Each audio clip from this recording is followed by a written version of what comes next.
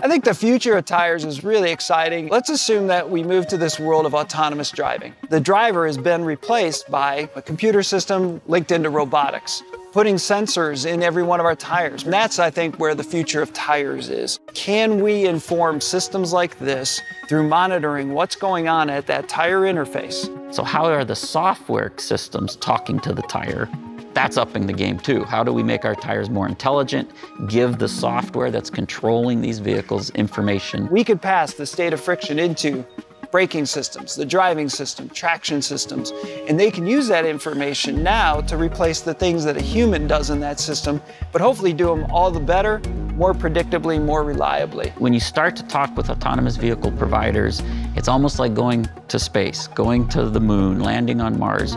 They're starting to, to realize one of the last things you really have to maintain on the vehicle is the tires. For us, that's airless tires. And what we needed to learn first and foremost about airless tires was could you carry a lot of weight? So the Olli is an excellent class. It weighs quite a bit since you're putting eight people in it, almost like a minibus. So it creates a great space for us to learn and develop uh, the technology. The concept of bold goals for us was to really stretch our capabilities. Can we have 100% sustainable material tire within the next decade?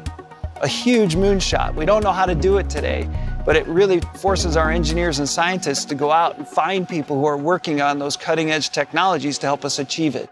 We are trying to design solutions in a very futuristic way.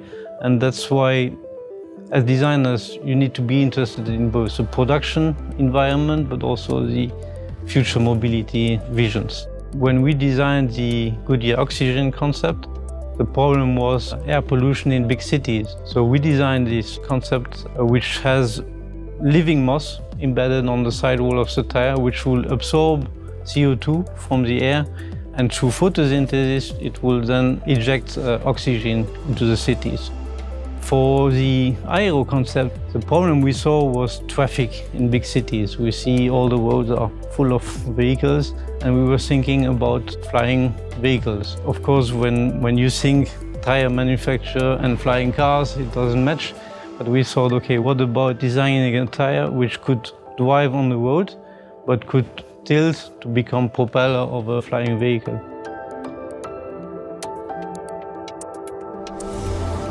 When we were thinking about big cities mobility, we thought, hey, what happens if we replace traditional tires into a sphere, into a ball? With a sphere, you could move laterally, you could do 360 turns. So yeah, of course, it's a way to attract people. It's an eye catcher. Our DNA is innovation and startup mentality. And so what's cool and exciting as this ecosystem keeps changing, we are part of that uh, right, right there. If I had to explain Goodyear's future vision for mobility, we'll keep making tires that have the best rolling resistance, tread wear, and traction.